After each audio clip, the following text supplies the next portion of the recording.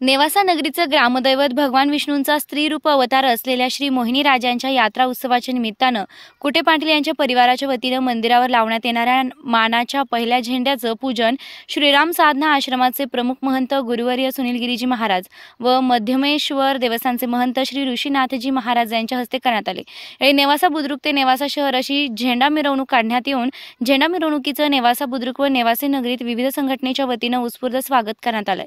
झेंडा मानकरी संजय कुटे पाटील यांनी मिरवणुकीचं नेतृत्व केलंय. मानाच्या झेंडा मिरवणुकीचा शुभारंभ प्रसंगी श्री सिद्धेश्वर मंदिराचे महंत ब्रह्मलीन श्री बालब्रह्मचारीजी महाराज यांच्या प्रतिमेचं पूजन करण्यात आलंय. त्यानंतर कुटे पाटील यांच्या निवासस्थानी महंत सुनीलगिरीजी महाराज व महंत ऋषीनाथजी महाराज यांचं संत पूजन कुटे पाटील व सौ छायाताई कुटे यांच्या हस्ते करण्यात आले.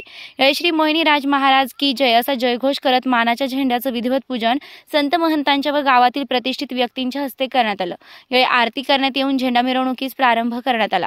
यावेळी नेवासा बुद्रुकचे माजी जिल्हा परिषद सदस्य मच्छिंद्र नाना हापसे सरपंच प्रकाश सोनटक्के संभाजीराव ठाणगे माजी police Patil Vilasrao Kute Rajendra Kute Sheshrao Kute doctor Mohan Kute Kachru Patil Dange Satyawan Kute advocate Sandeep Kute Ashok Kute Kiran Kute Atul Kute Tushar Kute Santosh Kute Rahul Kute Alok Kute Sanjay Gaikwad police Patil Dilip Gaikwad Sarangdhar Borkar Rajendra Thaware Pintubhau Borkar Ashok Temkar Balasaheb Dawale Ranganath Damale उपस्थित होते.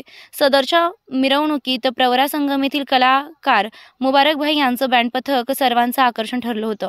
नेवासा शहरात आल्यानंतर जैन ग्रुपच्या वतीनं विजय चोरडिया मंगेश चोरडिया सागर गांधी यांनी तर माजी नगराध्यक्ष सतीश पिंपळे यांनी झेंडा मिरवणुकीचं स्वागत केलंय. नेवासा शहराच्या मुख्य मार्गावरून सदरची मिरवणूक ग्रामदैवत मोहिनी राजांच्या मंदिर प्रांगणात आली व या ठिकाणी मानाच्या पहिल्या झेंडा मिरवणुकीचा समारोप करण्यात आला. यावेळी यात्रा कमिटी व देवस्थानच्या वतीनं श्रीफळ प्रसाद घेऊन झेंडा मानकरी संजय कुटे पाटील यांचा सन्मान करण्यात आलाय. प्रतिनिधी सुधीर चव्हाण नेवासा.